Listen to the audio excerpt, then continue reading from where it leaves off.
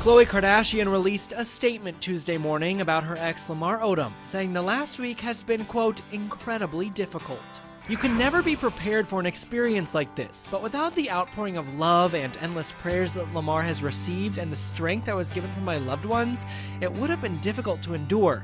Thank you for your continued support. God is great. Khloe also thanks the staff at Sunrise Hospital where Lamar had been staying.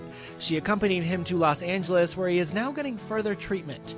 A source close to Odom tells ET his children are headed to Los Angeles to be with him and that right now he's undergoing dialysis treatment.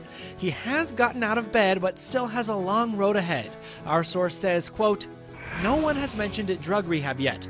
Everyone is just focusing on getting his health on track and getting his organs stronger.